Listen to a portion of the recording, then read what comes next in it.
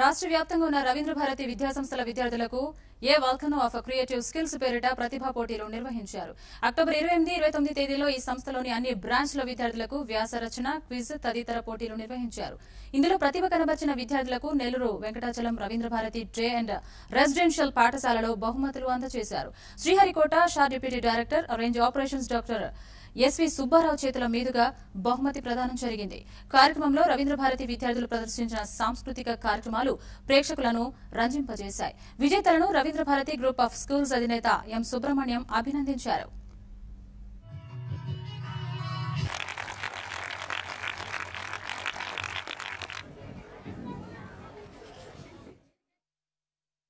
రాష్ట్ర వ్యాప్తంగా Ravindra Bharati group of స్కూల్స్లో కండక్ట్ చేసిన డిఫరెంట్ డిఫరెంట్ ప్రోగ్రామ్స్లో అంటే రెండు స్టేజ్లు అయిన తర్వాత ఫైనల్ స్టేజ్ ప్రోగ్రామ్ కండక్ట్ చేయడం జరిగింది.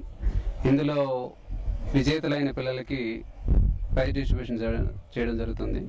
ఈ ప్రోగ్రామ్ అనేది పిల్లల ఫ్యూచర్కి ఎంతో ఉపయోగపడుతుంది. ఎందుకంటే మేము ఈరోజు కండక్ట్ చేసిన కొన్ని ప్రోగ్రామ్స్ ఎలక్యూషన్ కానీ లేకపోతే ఒక ఎస్ఏ రైటింగ్ కానీ లేకపోతే డిబేట్ కానీ ఇవన్నీ కూడా ఏంటంటే సో ఒక ఒక మంచి ప్లాట్ఫామ్ని ఏర్పాటు చేసాం సో వాళ్ళ యొక్క భవిష్యత్తులో కూడా ఈ ఈ ఎక్స్పీరియన్స్ అనేది ఎంతో ఉపయోగపడుతుందని నేను ఆశిస్తున్నాను.